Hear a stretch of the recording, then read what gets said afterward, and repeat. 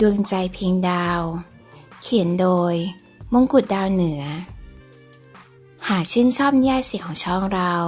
อย่าลืมกดไลค์กดแชร์และกดติดตาม เพื่อไม่ให้พลาดอัปเดตคลิปตอนใหม่ๆนะคะ หรือท่านผู้ฟังท่านใด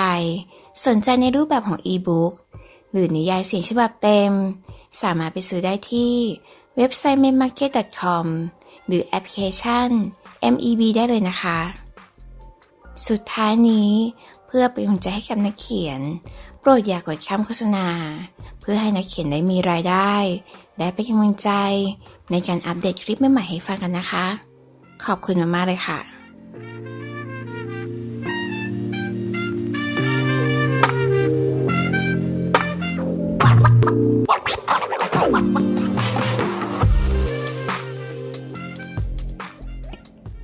บทที่สี่ คนไม่ใช่ทำอะไรก็ผิด เช้าอันสดใสของสาวน้อยกลับมาอีกครั้ง เธอตื่นขึ้นมาทำข้าวผัดที่อาหมอเคยชมว่าอร่อย ตอนที่ไปค้างคอนโดด้วยกัน ขณะที่หญิงสาวกำลังทำอาหารอยู่นั้น อาหมอก็เดินออกมาจากห้องพอดีทำอะไรครับ หอมจนปลุกอาให้ตื่นมาตามกลิ่นที่เฉยเข้าไปในห้องได้เนี่ยข้าวผัดกับไข่ดาวและเบคอนทอดค่ะ โอ้โห โดบแต่เช้า วันนี้จะให้อาพาไปไหนเนี่ย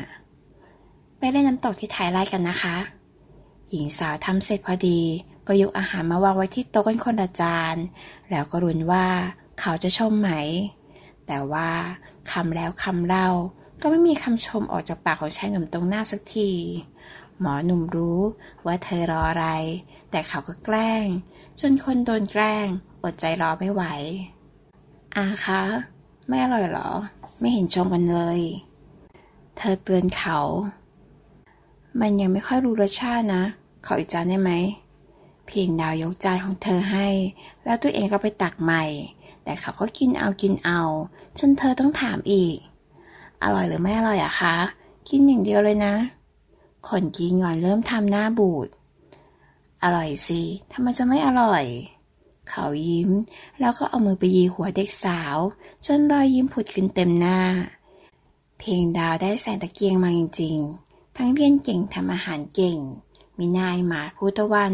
ถึงได้หัวจนห้ามหนุ่มหน้าไหนเข้าใกล้ แล้วเพียงดาวล่ะ เขาจะเอายังไงดี เมื่อคืนคิดเท่าไหร่ก็คิดไม่ตกณนะบ้านไร่ภูตะวัน คุณแสงตะเกียงคะ หมอทามนะคะ เป็นนอนบ้านในเมืองค่ะ พอดีคุณหมอไม่อยากรบกวน ได้ยังไงกันคะ ดึกขนาดนั้น น้ำฝนเมื่อเข้าห้องไปแล้ว ก็อาบน้ำนอน คิดว่าสักพักจะออกมาหาหมอทาม แต่ไม่คิดเลยว่าตัวเองจะหลับยันเช้าไปเลย ไม่ต้องห่วงหรอกค่ะหนีบเอาคนไข้ไปเป็นเพื่อนด้วยเหมือนอย่างที่เคย คนไข้ น้ำฝนเลิกคิ้วขณะถาม เธอไม่เข้าใจที่ใส่ตะเกียงพูด ก็แม่ลูกสาวของฉันนะสิคะเอาแต่ติดหมอทำแจ พอรู้ว่าไม่นอนที่บ้าน ก็ตามไปด้วยเลย เมื่อหญิงสาวรับรู้ว่าคนสองคนนั้นไปนอนร่วมบ้านกันอีกแล้วทำให้ไฟในอกเริ่มร้อนรุ่มด้วยความอิจฉา ปกตินี่คุณแสนตะเกียงสอนให้ลูกสาวไปนอนค้างอ้างแรมบ้านผู้ชายหรอคะ น้ำฝนถามด้วยใบหน้ายิ้มยิ้ม แต่คำพูดนั้นบาดลึกลงไปในหัวใจคนเป็นแม่นัก แล้วจันฉายกับมังกรก็เดินเข้ามาพอดี คนรักหลานอย่างมังกรมียอมหุบปากเงียบเป็นแน่ ขอโทษนะครับ ผมไม่รู้ว่าคุณเป็นใคร แต่จะมาพูดเรื่องหลานสาวกับพี่ชายของผมเสียหายแบบนี้ มันจะไม่เกินไปหน่อยหรอ อีกอย่างที่นี่ก็เป็นบ้านส่วนตัว พวกเราอยู่กันแบบนี้มาตั้งนานเห็นจะมีปัญหา หากคุณมีปัญหาก็เชิญครับบางกรที่เดือดจนจันฉายก็เอาไม่อยู่ ทั้งหยิกก็แล้วดึงมือก็แล้ว อะไรก็แล้ว อย่าเสียมารยาทน่ะ นี่อาจารย์ของเพียงดาว แสงตะเกียงพูด แม้ในใจก็รู้สึกไม่พอใจคำพูดของคนเป็นอาจารย์อยู่บ้างก็ตาม อ๋อ เป็นอาจารย์จะพูดอะไรก็ได้หรอครับ แล้วคุณ มังกร พอ จันฉายแล้วขึ้นเสียง น้ำฝนรู้สึกว่าตัวเองพูดจาไม่รู้กระเทศะนี่ก็เจ้าสัวมังกร เจ้าสัวหนุ่มไฟแรง น้องชายของหมอทาม หากมีปัญหากัน คงไม่เป็นผลดีกับเธอแน่ อุ๊ย ขอโทษค่ะ พอดีน้ำฝนไม่ได้จะหมายความว่าอย่างนั้น แค่เป็นห่วงว่าเด็กผู้หญิงไปค้างอ้างแรมกับชายอื่น มันจะดูไม่เหมาะอาหมอไม่ใช่คนอื่นค่ะ แต่เป็นอาจารย์ต่างหาก เพียงดาวกับอาหมอ เดินเข้ามาทันได้ยินถ้อยคำดูถูกของอาจารย์น้ำฝนเขาพอดี จึงไม่พอใจ แล้วก็เถียงออกไปทันควัน น้ำฝนหันมา ก็พบว่าหมอทามยืนหน้าเครียด มองมายังเธอ โดยที่ไม่พอใจเท่าไหร่ จึงรีบแก้ตัวโดยเร็ว หมอทามคะ ไม่ใช่อย่างที่คุณคิดนะคะ พอดีตื่นมาไม่พบคุณก็เลยถาม แต่ไม่รู้ว่าเรื่องมันเลยเธอไปอย่างนี้ได้ไงน้ำฝน รีบแทรกตัวเข้าไปควงแขน แล้วดึงหมอทำเข้ามาเป็นพวกทันที ก่อนที่ตัวเองจะโดนรุม พอดันไปว่าลูกรักรานรักของทุกคนเข้า ผมต้องขอโทษทุกคนด้วยนะครับ เดี๋ยวผมจะพาจันฝนไปส่งเดี๋ยวนี้ละครับ หมอทามรับรู้ว่าจันฝนน่าจะก่อปัญหาบางอย่าง เพราะทั้งน้องชายแสนตะเกียง จันฉายไม่กล้าปกป้องเลย ขนาดเพียงดาวยังเสียมปรยาขนาดนั้น เขาไม่ได้โง่ที่ดูไม่ออก ไหนวันนี้เราจะไปเที่ยวน้ำตกกันไงคะเพียงดาวทวงถามสัญญา แล้วเธอก็ต้องหงุดหงิด เมื่ออาจารย์คนนี้เป็นก้างชิ้นใหญ่ของเธอ ความสัมพันธ์ของเธอกับอาหมอกำลังจะไปด้วยกันได้ดีโดยเชียว แต่ก็ต้องมาสะดุดอีกครั้ง จากผู้หญิงปากร้าย ที่ไม่น่าจะมาเป็นอาจารย์ได้เลยจริง ๆ เพียงดาว อย่าเสียมารยาท ชายหนุ่มบอกกับหญิงสาว แม้จะไม่รู้เรื่องราวทั้งหมด แต่เขาทนไม่ได้ ที่ผู้หญิงคนหนึ่ง จะโดนรุมต่อว่า ไม่ว่าเธอผิดหรือไม่ก็ตาม หมอทาม แสงตะเกียนพูดพร้อมกับส่งสายตา เพราะหมอทามเองก็ดูแลเธอมาตั้งแต่เพียงดาวเป็นวุ้นอยู่ในท้อง แต่เมื่อสองสายตาสบกัน บอกให้รู้ว่า ควรถอย แสงตะเกียงจึงบอกทุกคนมาทานข้าว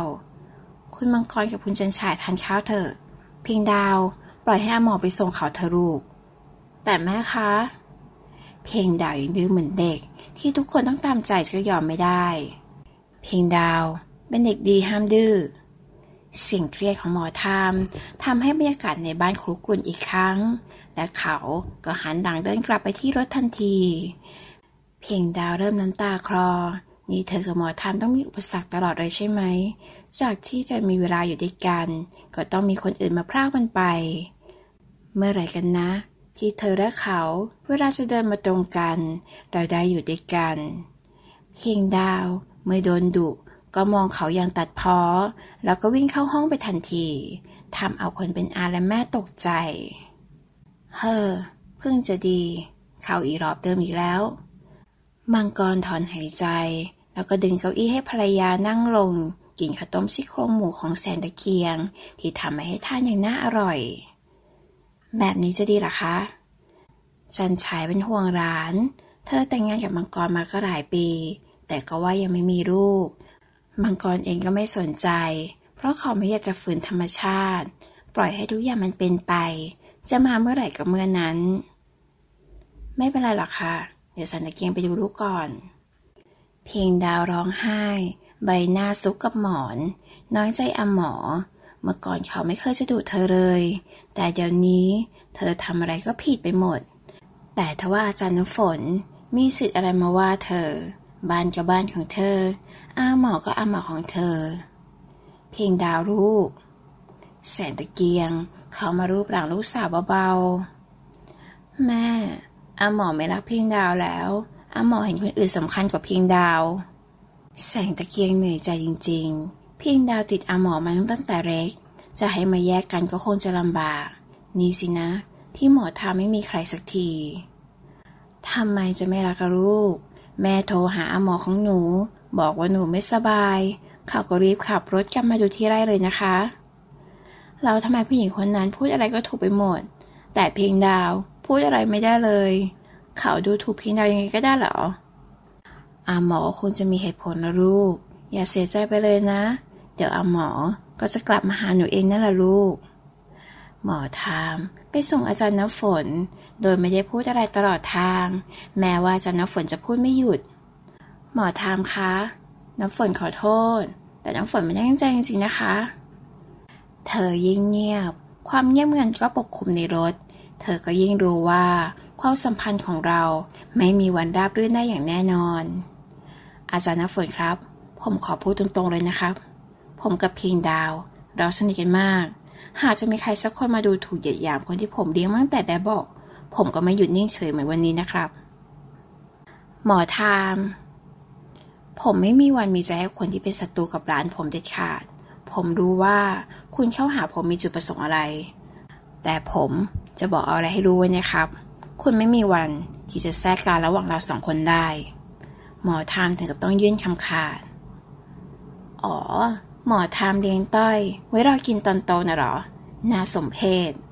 อาจารย์น้ำฝนลงจากรถไปอย่างหัวเสีย ไม่รอให้เขาไล่เป็นครั้งที่สอง แต่ก่อนไปก็ขอด่าสักคำ อุตส่าห์ง้อมาตั้งแต่เขาใหญ่ยังกรุงเทพ เบื้องน้ำได้จริง ๆ ในขณะที่หมอทามก็ถึงกับสะอึกคำว่าเรียงต้อย เขาไม่ได้เรียงต้อย แต่เขารักเพียงด้าเหมือนกับรานคนหนึ่งจริง ๆ แต่ยิ่งโต เขาก็ไม่รู้ว่าทำไม หัวใจตัวเองมันคอยจะสั่นไหว ยามที่อยู่ใกล้กับรานรัก จากที่เป็นรานรัก ตอนนี้เขาหลงรักรานของตัวเองเขาให้แล้ว ต่อให้ร่างกายของเขาที่ดูแลสุขภาพไม่อย่างดี จนดูเหมือนเป็นหนุ่มในวัยสามสิบแต่เขาก็รู้ตัวเองดี ว่าเขามันวัยเลขสี่เข้าไปแล้ว จะไปหลอกกินลานวัยสิบเก้าปี มันก็เหมือนตะแก่ตันหากลับ เรื่องนี้เขาคิดไม่ตกเลยจริง ๆ หรือว่าเขาควรจะห่างจากเพียงดาว ปล่อยให้ที่บ้านของเธอดูแลจะดีกว่า เมื่อคิดได้ เขาก็โทรหาภูตะวันทันทีภูตะวันนายส่งคนมาดูแลเพียงดาวจะดีกว่านะ ฉันว่าฉันควรห่างว่ะขณะอาจารย์เพียงดาวยังคิดในแง่ร้าย หาเป็นคนอื่น คงคิดว่าฉันหวังจะกินลูกแก อะไรของแกวะ ร้อยวันพันปีไม่เคยคิด อยู่ๆจะมาคิด แล้วลูกฉันมันจะยอมหรือไง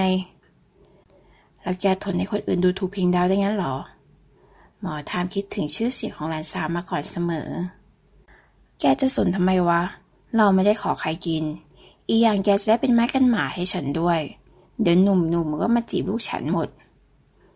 ภูตะวันรู้สึกดี ที่หมอทามดูแล เพราะเหมือนพ่อดูแลลูก ไม่เหมือนคนอื่น เขากลัวว่าจะเจอคนไม่ดีคำพูดของเพื่อนรักทำให้หมอทามต้องถอนหายใจ เขายังไม่รู้จะห้ามใจตัวเองไม่คิดกันเลยต่อพียงดาวได้หรือเปล่าเลย มันก็อยากจะฝากปลายย่าไว้กับแมวอย่างเขาเสียเหลือเกิน เอาหน้าห่างกันสักพัก เขาตัดสินใจพูดออกไปแล้ว ตัวเองก็กลับคอนโด ไม่กลับบ้านได้อย่างที่ตั้งใจไว้ตอนแรก ผู้ตะวันจึงต้องรับหน้าที่ไปส่งข่าวเกี่ยวกับเรื่องของพิงดาว เขาก็ใจแป้ว เวลาเห็นลูกสาวร้องไห้ ดีหมอเวโยนขี้มาให้ไม่พอ มันยังไม่เคยมาเคียกับลูกสาวเขาอีก แล้วอาการไม่กินไม่นอนของพิงดาวก็กลับมาอีกครั้ง เด็กสาวนั่งเหม่อลอยไปไกล กลัวไปหมด กลัวอาหมอไม่รัก เธอไม่ได้ตั้งใจจะดื้อกับเขา แต่ว่าเธอห้ามอารมณ์ของตัวเองไม่ได้ ตอนนี้อาหมอจะไม่มารับมาส่ง รวมทั้งไม่มาหาเราด้วย เธอทำผิดอีกแล้วเหรอ นี่เพียงดาวใช่คนสำคัญจริง ๆ ใช่ไหมสำคัญทำไมถึงทิ้งกันไปดื้อๆอย่างนี้ หญิงสาว ตัดพ้ออยู่ในห้องอย่างเหงาๆคนเดียวมองรูปถ่ายตอนไปงานแต่งของอามังกร ที่ตัวเองและอาหมอได้ถ่ายรูปคู่กันเอาไว้ เธอเอามันขึ้นพักหน้าจอ เรายิ้มทุกครั้งที่ได้มองมัน แม้ตอนนั้นจะยังเด็ก แต่ก็โตพอจะรับรู้อะไรต่อมีอะไรแล้ว